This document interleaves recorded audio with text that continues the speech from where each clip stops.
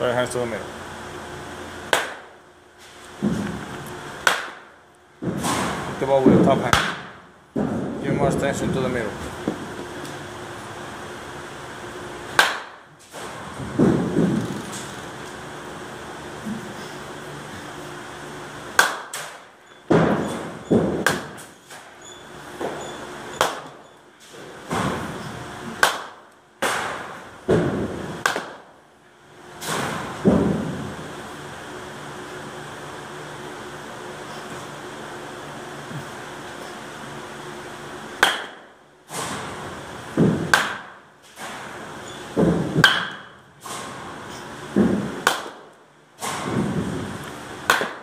That's.